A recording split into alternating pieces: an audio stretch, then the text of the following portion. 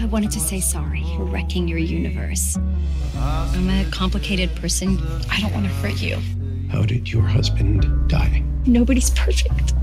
I'm not perfect either. I felt like the universe was bringing us together. We all got wolves in us, dear.